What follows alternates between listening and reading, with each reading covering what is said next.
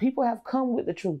People have told come and told them. But what they do, they they sweep it up on the rug. Have these other people who come making statements sent away or uh, or committed or whatever. Y'all going so far just to cover this up.